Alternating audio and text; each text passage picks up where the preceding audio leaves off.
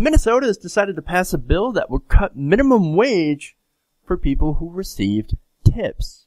Oh, now interesting. Now, the Star Tribune reports that this measure, passed by, of course, the GOP-controlled state house last week, had some rollbacks to uh, basically try to help the hospitality industry make more money.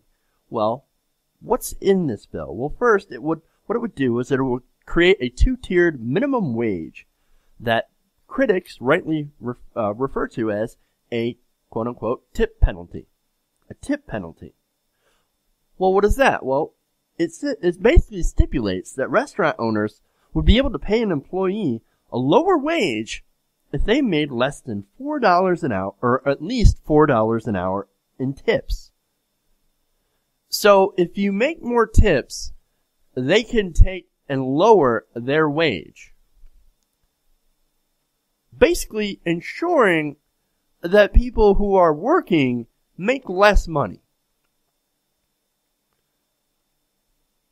But they already don't make enough money to survive. Look, there are some places that do make a lot more tips. Let's be honest.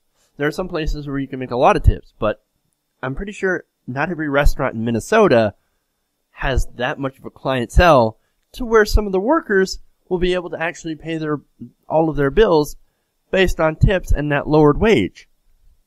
You're essentially driving down your own costs at of course the cost of the employee. Now that ain't right. Now, this is in response to a recent uh, uh, increase in the minimum wage to about 9.50 an hour. That's coming, of course, uh, in 2016. According to Representative, State Representative Tim Mahoney, he said, look, man, this is an attack.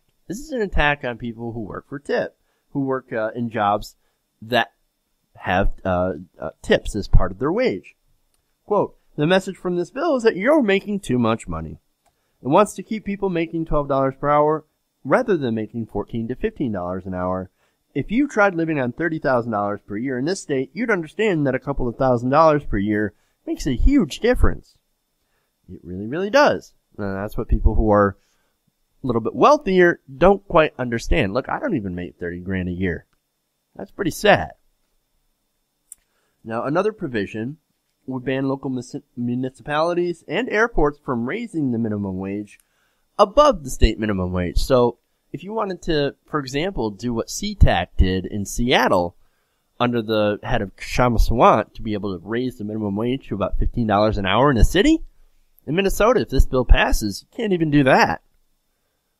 So basically, this is a big FU to workers, especially tipped workers, who don't always receive a solid wage. Sometimes they can make more money, sometimes they make a lot less. It all depends on how generous the patrons are doing.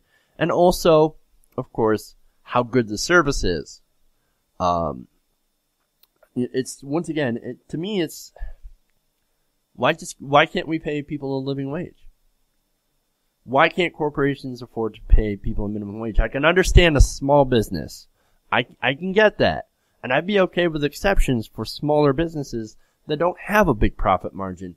But when you're dealing with a place like McDonald's or even Applebee's, which is one of those sit down restaurants where you would tip, I don't understand how they can't afford to pay a living wage for the people who work there it's that whole thing of I don't get how a profitable corporation can't afford to pay someone who works 40 hours a week enough to be able to survive on their own without having to take government benefits. It's almost as if they they're using those government benefits, and I think they are, as a way to supplement their own wages, their own bottom lines.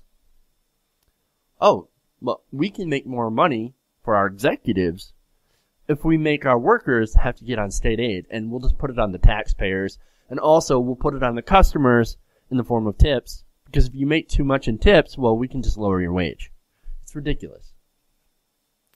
Once again, that, that that's just indicative of our anti-worker uh, mindset nowadays in America, and it really is just sad. Pay our workers a living wage.